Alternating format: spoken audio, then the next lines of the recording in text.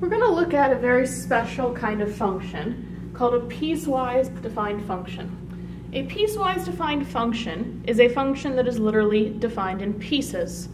And they're actually much more common than you would expect because if you imagine uh, graphing the speed of a car over time, you accelerate, then you slam on your brakes, then you accelerate again, a little bit slower maybe, and each little time you change your behavior, the function is radically different.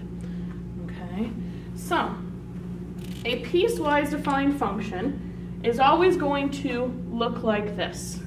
Okay, there's the curly brace, there's multiple possible functions, and each one has an explicit inequality for x given. Now, we have our warning number 11 here. You only ever plug your x value into one equation because this is still a function. There's only going to be one answer for every x value. So the question is, which equation do I plug x into? And it depends. So we're going to look at several different answers.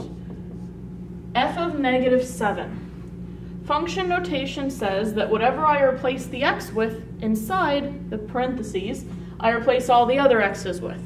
The question is, which one do I replace it into though? Well, look at negative 7. Go over here to these inequalities.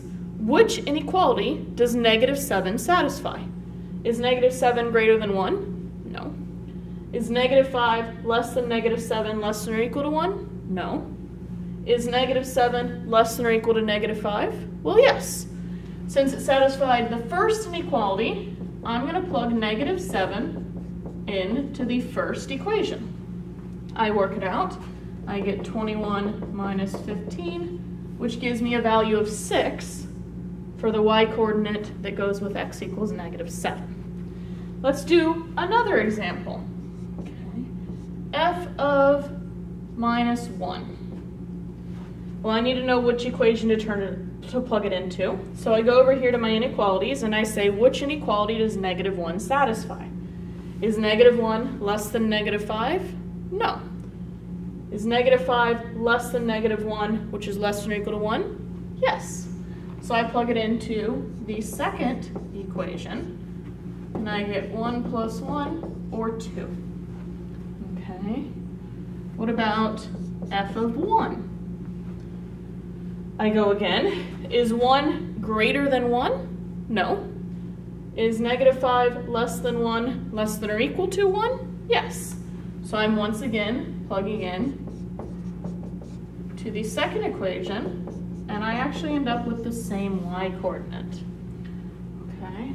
Lastly, what about f of 6? Is 6 greater than 1? Yes. So I'm going to use this last equation. The square root of 3 plus 6, or the square root of 9, gives me an answer of 3. So just remember, every time you're dealing with a piecewise defined function, each x has only one answer, and you just have to be careful which equation you're plugging it into.